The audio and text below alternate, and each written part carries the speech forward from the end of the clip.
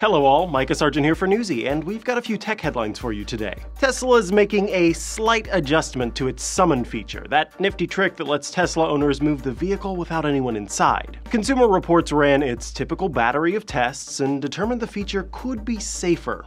As we used the system, we became concerned that in an emergency, a user might not be able to stop the car right away if they were to press the wrong part of the key fob, or if they dropped the key fob.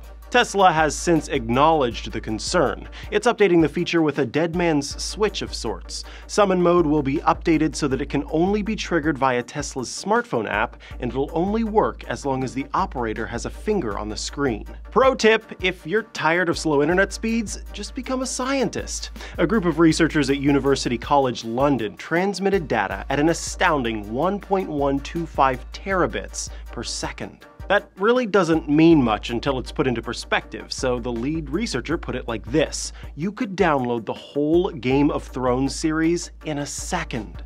For their next trick, the team will see what kind of speeds they can get over a long distance transmission.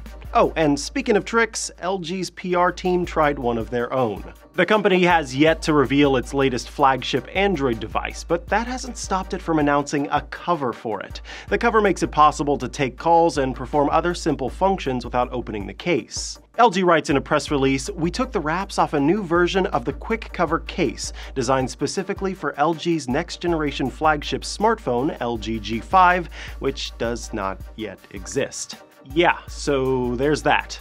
Hey, thanks so much for watching. We've got the latest tech news coming up.